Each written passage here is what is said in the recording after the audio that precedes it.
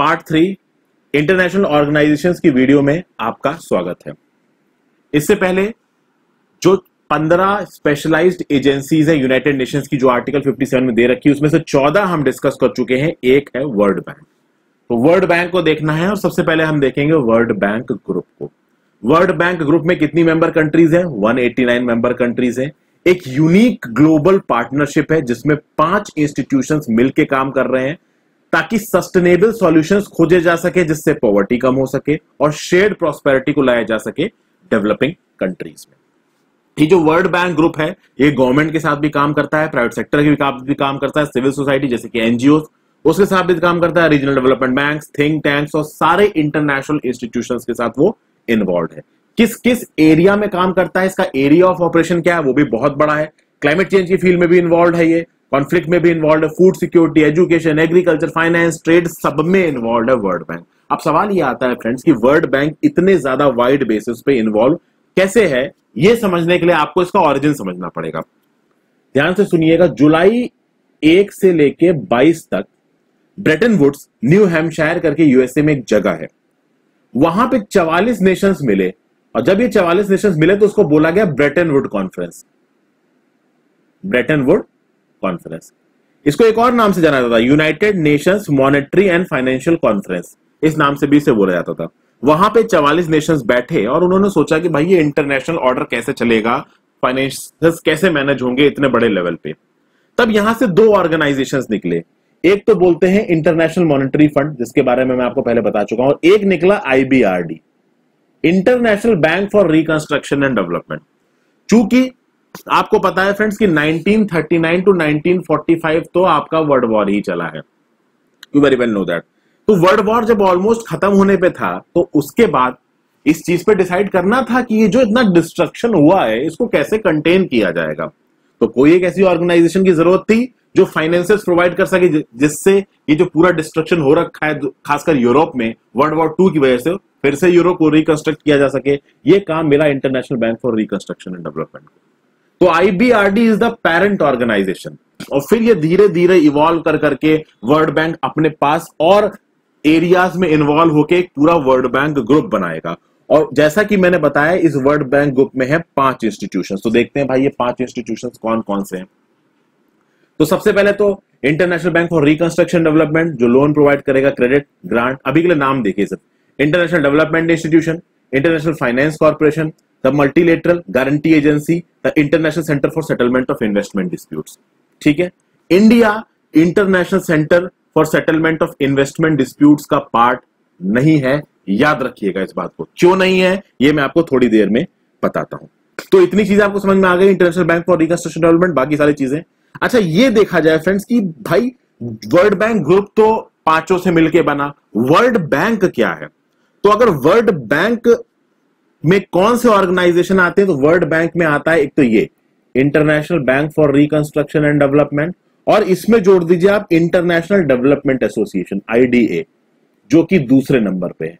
तो ये दोनों मिलके बन जाते हैं आपका वर्ल्ड बैंक फ्रेंड्स और वर्ल्ड बैंक ग्रुप में पाँचों आ जाते हैं। ये याद रखिएगा, एक इंपॉर्टेंट पॉइंट है।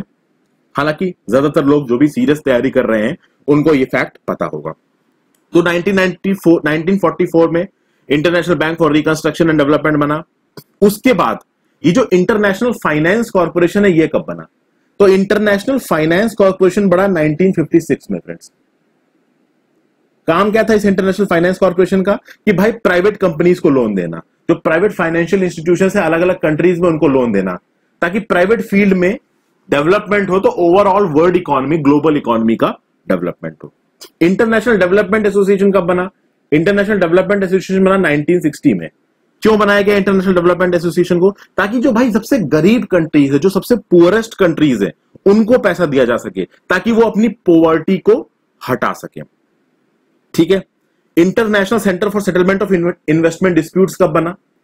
आईसीएसआईडी ये बना 1966 में। ये क्यों बना? ताकि इन्वेस्टमेंट डिस्प्यूट्स जो कि होते हैं आपके इन्वेस्टर के बीच में और कंट्री के बीच में इनको सॉल्व किया जा सके। अब आपको यहाँ पे जवाब मिल जाएगा कि इंडिया इसका पार्ट क्यों नहीं है। इन्वेस्टर और कंट्रीज़ के बीच में जो डिस्प्यूट है, उनको ये सेंटर सॉल्व करता है। अब इंडिया इसका पार्ट क्यों नहीं है इसको समझने की कोशिश कीजिए फ्रेंड्स मान लीजिए, जस्ट एक बार को सोचिए आप कि किसी एक इंटरनेशनल ऑर्गेनाइजेशन ए ने आके ओडिशा के किसी जंगल में लगा दिया एक प्लांट गवर्नमेंट ऑफ़ इंडिया के अप्रूवल के साथ। फिर मान लीजिए वहाँ पे प्रोटेस्ट हो गए, लोग बहुत ज़्यादा प्रोटेस्ट हो, करने लगे उस प्लांट के अगेंस्ट में, और फिर उस प्रोटेस्ट के चलते प्रेशर में आके गवर्नमेंट ने उस प्लांट की जो परमिशन पहले दी थी, वो परमिशन वापस ले ली, और प्राइवेट कंपनी से बोला कि आप यहाँ से निकल जाओ।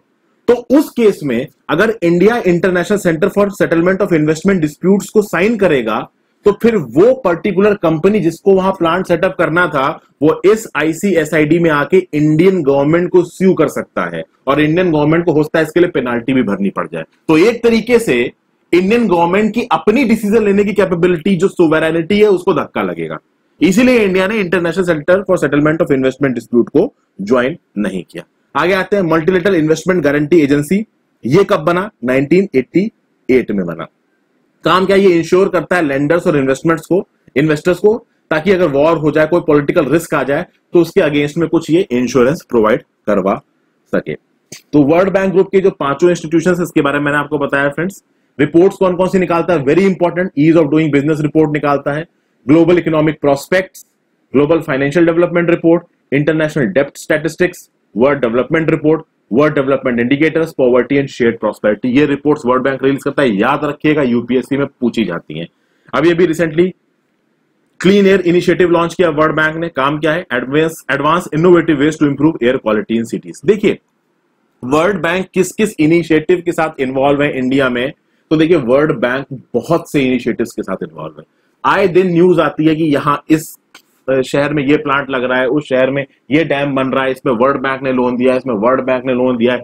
जितने भी डेवलपमेंट के काम हैं, उसमें वर्ल्ड बैंक कहीं ना कहीं किसी ना किसी तरीके से अपने आप को एसोसिएट कर ही लेता है। तो World Bank is very important अगर आप रेगुलर न्यूज़पेपर पढ़ते हैं, आपको पता चलता ही रहा होगा it is a World Bank assisted project it is World Bank assisted project clean air initiative याद रखिएगा।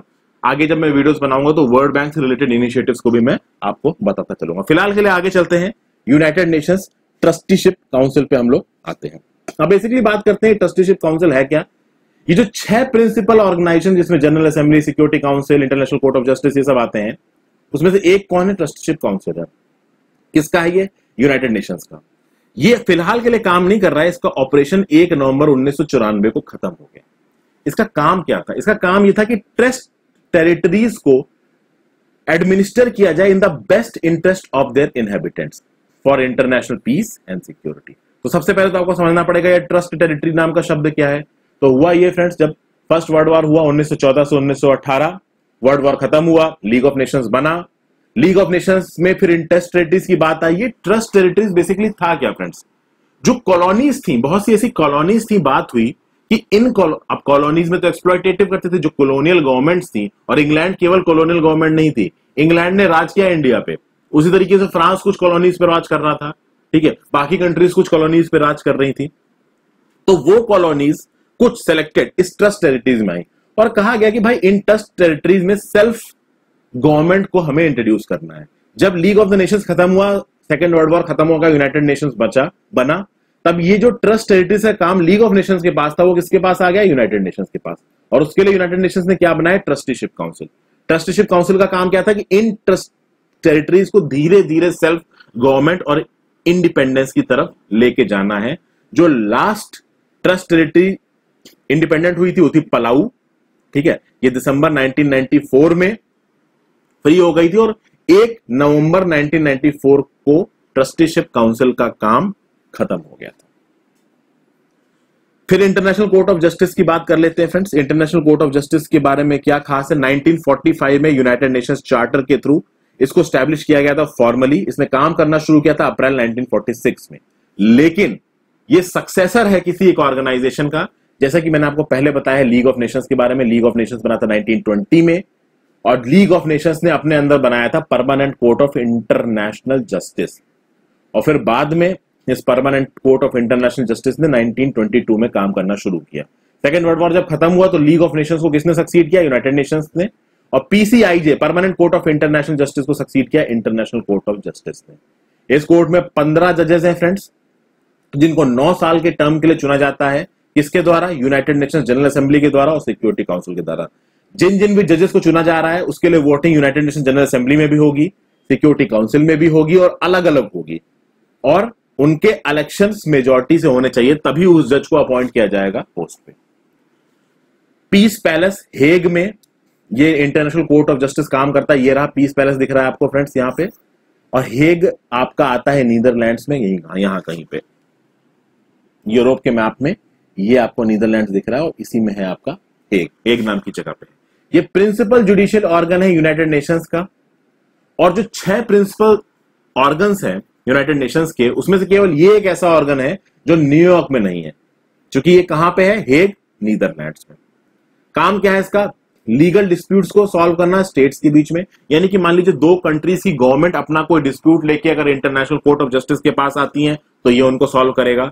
फिर ये इंटरनेशनल लॉ के हिसाब से एडवाइजरी ओपिनियन भी देता है उन लीगल क्वेश्चंस को, जो legal questions international court of justice के पास कोई यूनाइटेड नेशंस ऑर्गन लेके आ रहा है या कोई स्पेशलाइज्ड एजेंसी लेके आ रही है। स्यू मोटो ये एक्ट नहीं करता है। अपने आप से कोई किस्सा उठा के ये एक्ट नहीं कर सकता है। जब इसके पास कोई केस आएगा डिसीज़न देने के लिए या एडवाइजरी ओपिनियन के लिए तब ये अपना डिसीज़न देगा। 193 स्टेट पार्टीज़ हैं इसमें। इंटरनेशनल कोर्ट ऑफ़ जस्टिस के बारे में कुछ इंफॉर्मेशन आप और जान लीजिए फ्रेंड्स देखिए इंटरनेशनल कोर्ट ऑफ़ जस्टिस में पंद्रह जो जजेस हैं, वो अलग अलग रीजन से आते हैं।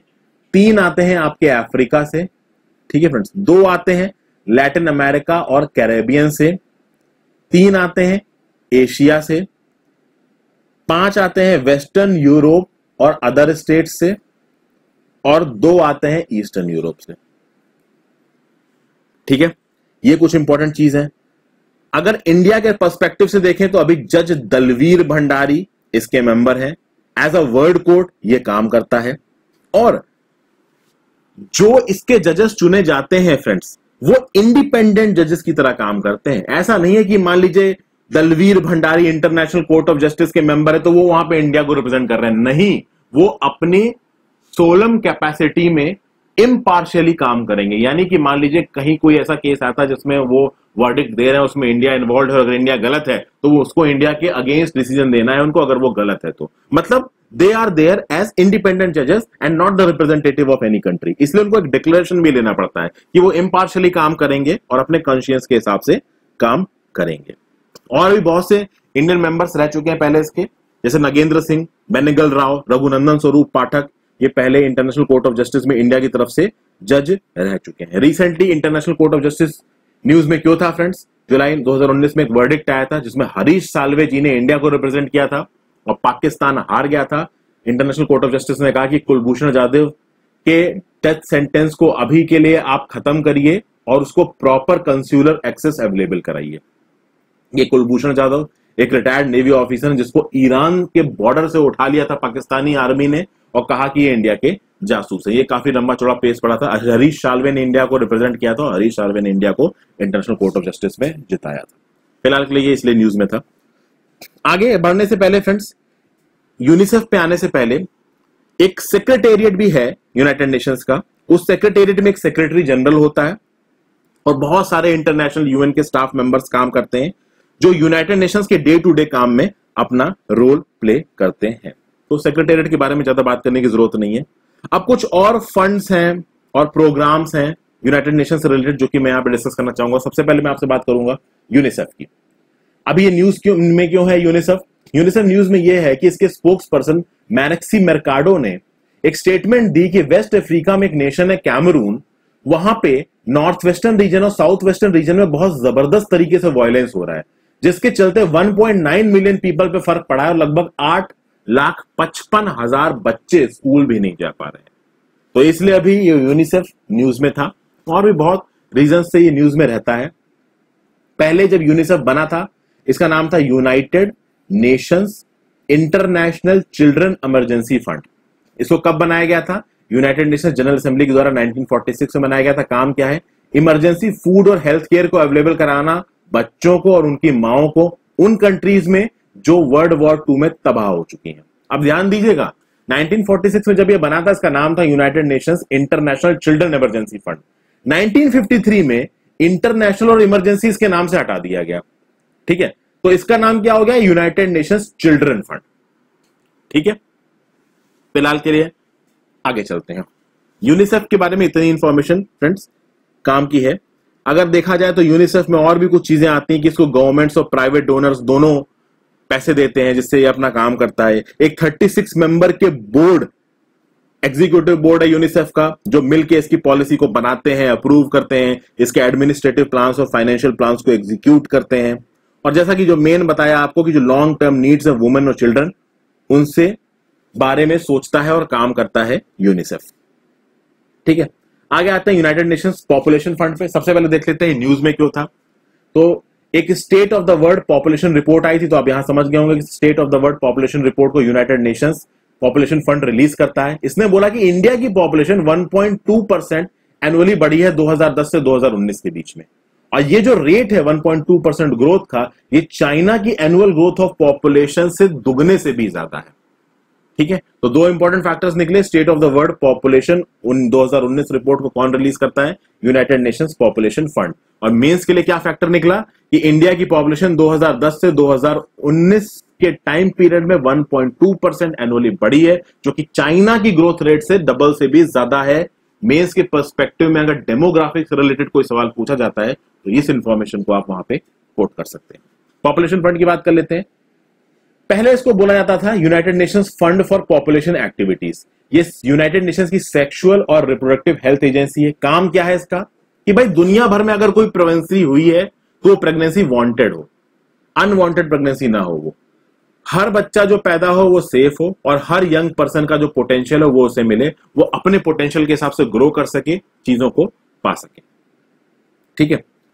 इसमें 2018 में यूएनएफपीए न्यूज़ में था क्योंकि उसने कुछ एफर्ट्स निकाले थे ताकि तीन ट्रांसफॉर्मेटिव रिजल्ट्स एम्बिशंस को लाया जा सके। वो कौन कौन से थे? Ending unmet need for family planning ending preventable maternal death ending gender based violence and harmful practice ये यूनाइटेड नेशंस पॉपुलेशन फंड के बारे में इंफॉर्मेशन है। उतना इंपॉर्टेंट नहीं है। आ जाते हैं एक इंपॉर्टेंट न्यूज़ पे यूनाइटेड नेशंस डेवलपमेंट प्रोग्राम से रिलेटेड है। अब United Nations Development Programme news में क्यों था? अभी अभी एक इनिशिएटिव आया है जिसमें तीन ऑर्गेनाइजेशंस ने मिलकर एक तो अटल इनोवेशन मिशन नीति आयोग और United Nations Development Programme India ने मिलकर युथ को लैब को लॉन्च किया है। और इस युथ को लैब का काम क्या है?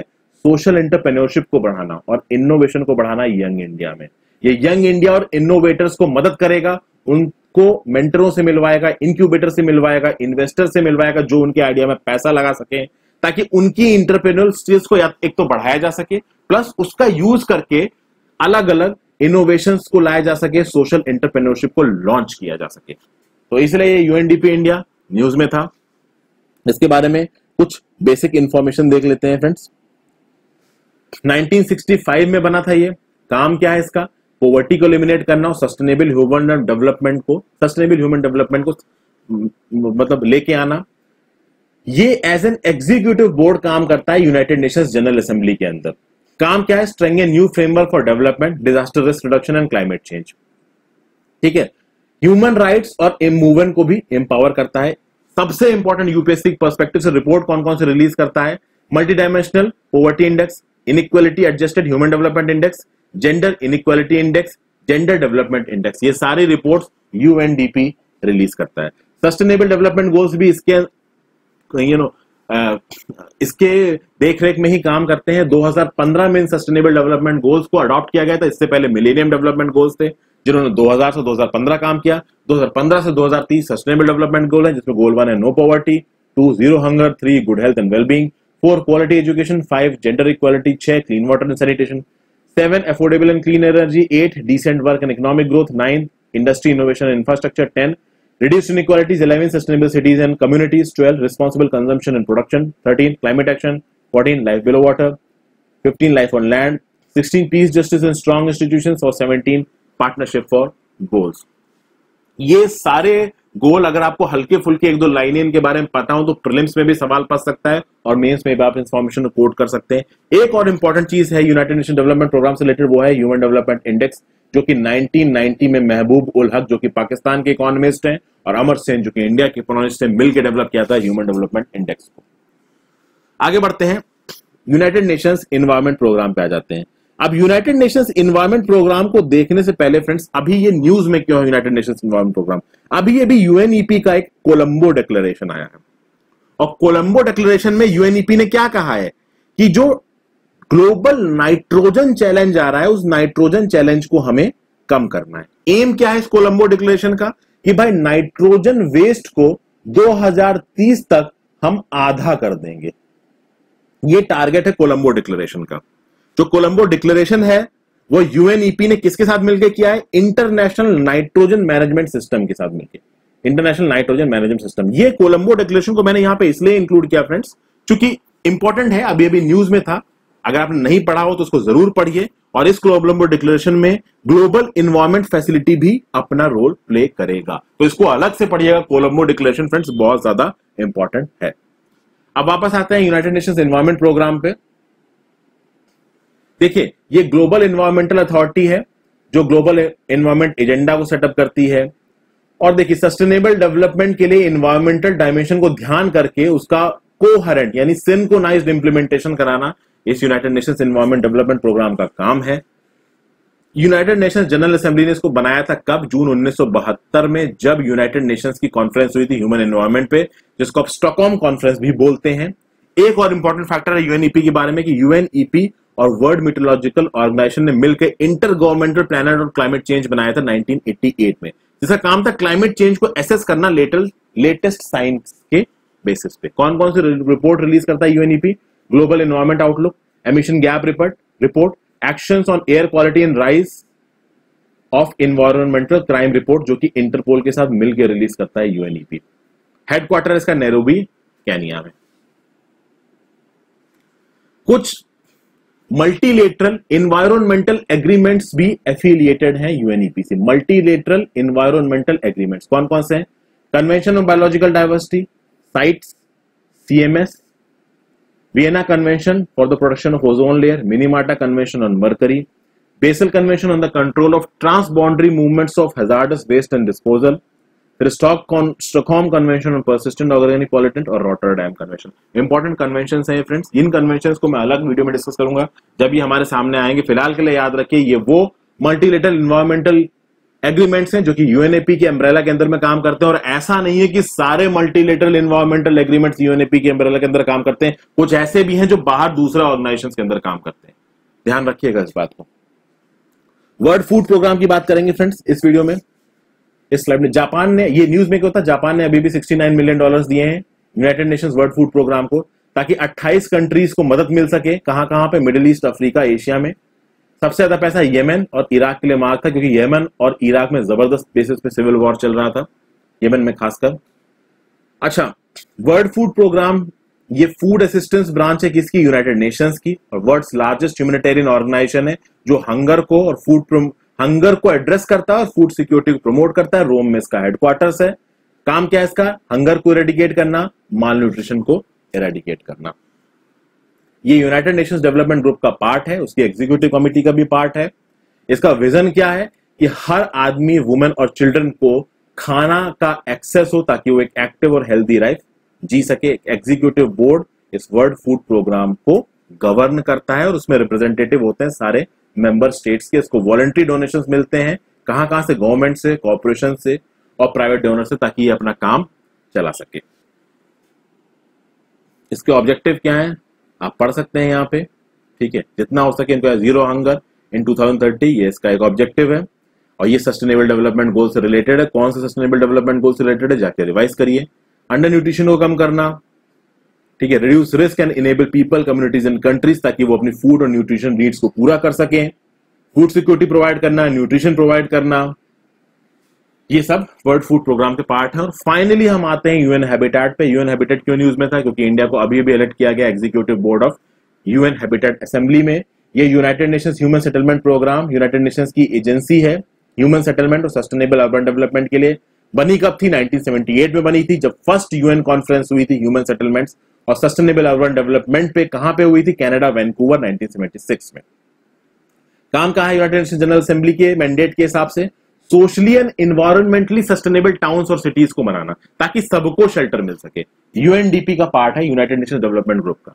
फिर इसके अंदर एक हैबिटाट एजेंडा आया था, और हैबिटाट एजेंडा को इस्तानबुल टर्की 1996 में अडॉप्ट किया गया था, जब United Nations Conference on Human Settlement Habitat two हुआ था। ये जो यूएन हैबिटाट है यूनाइटेड नेशंस जनरल असेंबली को रिपोर्ट करता है। तो यहाँ के लिए फ़िलहाल हम खत्म करते हैं। इसके आगे मैं कुछ और इंपॉर्टेंट इंटरनेशनल ऑर्गेनाइजेशन को लेके आऊँगा।